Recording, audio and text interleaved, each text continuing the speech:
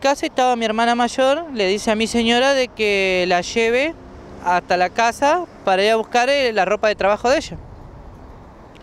Entonces mi señora la lleva y cuando se baja se arma una discusión entre las dos y empiezan a pelear.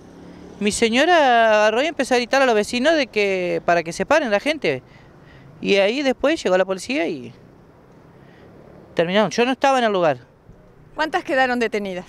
Mi, sería mi señora, ¿Cómo se llama tu señora? Mendoza Ada, eh, Priscila González, Que es tu hermana. es mi hermana, y me eh, que dejó el auto adentro, sería retenido el auto también.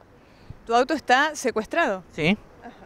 ¿Vos cómo te enteraste del hecho violento en tu familia? ¿Estabas trabajando, decías? ¿Era día feriado, 2 de abril? Yo estaba trabajando, llego a mi casa y estaban en mi casa mi hermana y mi señora. De ahí mi señora la lleva a mi hermana a buscar la ropa de trabajo de ella y ahí cuando se produjo todo.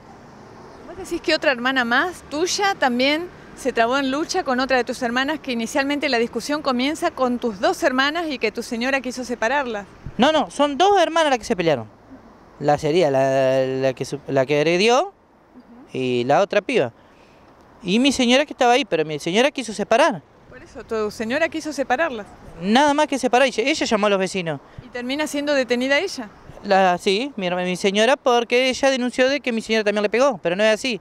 También metió a mi hijo de 12 años que no tenía nada que ver.